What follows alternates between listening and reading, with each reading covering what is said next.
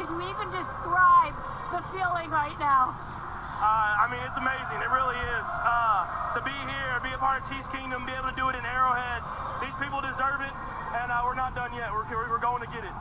And how about to do this for your coach, Andy Reid, who has the chance to finally win his first Super Bowl? Yeah, I mean, it, it's, it's awesome. We, we go out there every single day, and you see Coach Reid and how much work he puts in.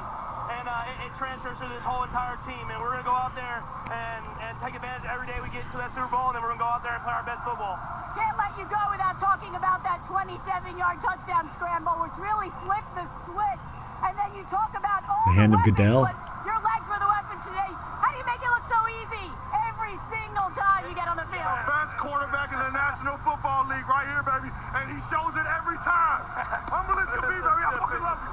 No, it, F-bomb. It, it's awesome. Like you said, I have these weapons. Drop the F-bomb. And uh, when, the, when they're getting double teamed and, and there's only three men rushing, the offensive line is blocking their tail off. It gives me room where I can run. And so uh, I'm lucky to be a part of this team, be, be here with all these guys, and uh, it makes my job a lot easier. Congratulations. Enjoy it. Good luck in Miami. Yeah, thank you. Appreciate it. The longest stretch between two Super Bowl appearances ever. Keep it herbal. Kansas City Kaepernick. heading to Miami. The game will be broadcast on Fox. When the Chiefs won Super Bowl four, the game was called by Jack Buck.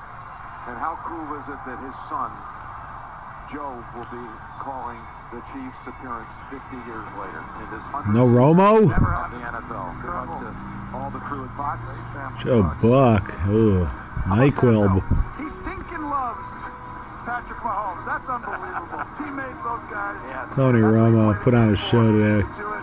Jim Nantz. Get yourself in a position to have a chance.